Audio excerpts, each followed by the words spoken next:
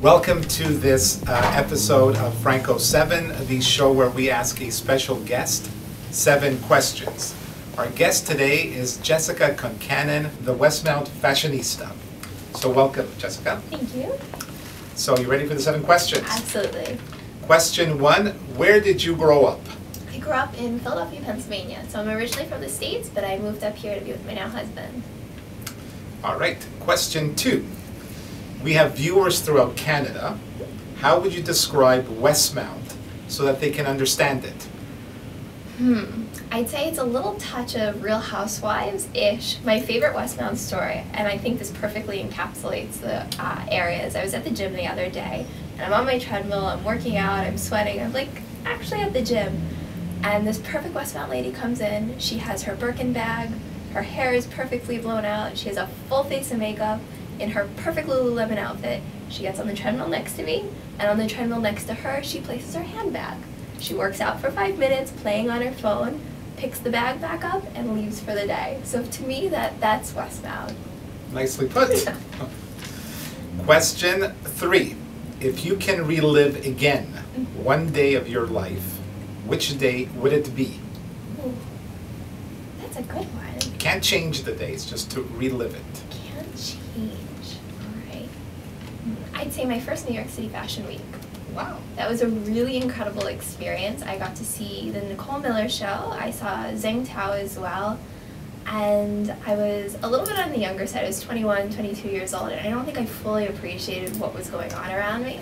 So now that I am in the industry and I really understand the importance of it and what goes in really to producing something like that, I'd love to go back and relive it and appreciate it a little bit more for what it really was.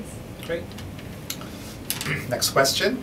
Uh, the Golden Globes Mm-hmm. will launch the awards season shortly on January 12th. Look into your crystal ball and tell me whose outfit will we be discussing on January 13th. Okay, let's see. I think Anne Hathaway always is absolutely incredible, and her relationship with a lot of the really big designers always ensures a really standout outfit from her. So I think Alright. she's definitely going to be one of the big ones. So we'll look out for Anne Hathaway. Personal favorite too. Uh, question five. Hot Spring Trend 2014, pick one. One. I think the crop top still is going to be going pretty strong, and you know. It's fun, you can play with it, you know, you can show a little bit more skin, you can wear a high-waisted skirt and cover up with just that tiny little hint of the midriff, and something I'm finally gonna think I'm gonna embrace this spring too. The crop top, okay? Question six. It's been the year of the diva, Britney, Miley, Beyonce, Gaga. Uh, whom will history remember as having owned a 2013? I think it's the year of Miley Cyrus. I have to give her credit. The crazy is totally working for her. She's You don't think. Beyonce stole it at the last? You know, with the new album release, I think she's taking it away from my. I think Miley will be remembered for the crazy, but I think Beyonce, like you said, that's a true diva right there. So there's a little bit more elegance to that one. Last question. What is the most beautiful place on earth? That's another hard one. Good questions, though. Um, I'm partial to Paris. It's been a favorite of mine for the longest time, and I don't know, standing on the Pont Neuf and looking out over the city with the sun going down on you with a nice bottle of wine. That's a Yeah, it's personal pretty favorite. extraordinary. Yeah.